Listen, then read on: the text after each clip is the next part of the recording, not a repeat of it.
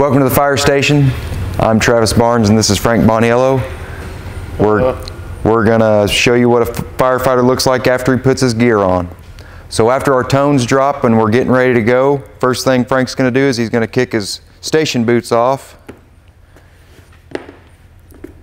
And he's gonna put his bunker boots on. These are to protect his feet and his toes in the extreme heat and now he's gonna pull up his pants and his suspenders. He's going to protect his legs and his knees. You'll notice that he's got some pads to help because when we go into burning buildings, we usually go in crawling. Uh, now he's going to put on his Nomex. This is going to protect his ears and his neck and all around his face. Then his coat. This is going to protect his torso and his arms and, and his back.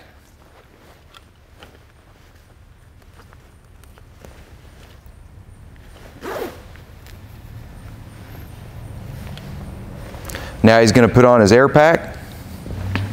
So our air pack is our own bottle of fresh air that we bring with us wherever we go. So that if we have to go into a smoky house that's on fire, this is our extra, our fresh air that we bring ourselves.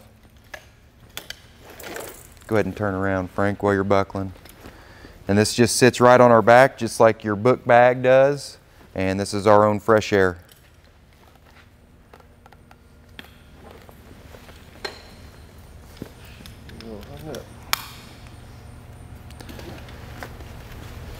Now he's going to put on his helmet.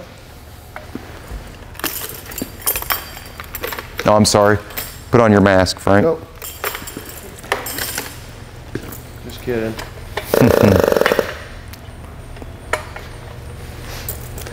now he's going to put on his mask. That way he can breathe that fresh air that's on his back. You'll notice that when he first put his Nomex on, he had it up, and then all of a sudden he put it back. That's so that he can put his mask on, and then he brings his Nomex back up to match with that mask so that there's no skin shown anywhere. Go ahead, turn around, Frank. Give one all the way around. No, no skin showing around his neck or head. Now he's going to put his helmet on to protect his head. Giving a little extra protection for his neck and ears with his shroud. And he's going to put on his gloves to protect his hands, make it to where he can work.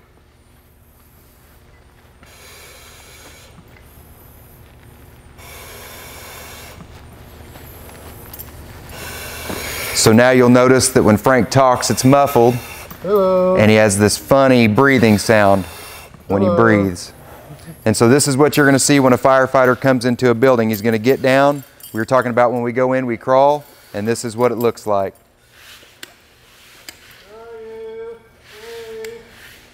So that if you ever have a firefighter come in looking for you, that's what you'll see. This is what a firefighter looks like after he has his gear on. This is what a firefighter looks like before he puts his gear on. This is the firefighter you see every day, and this is the one that you'll see if you're in trouble. Thanks for coming by the fire station.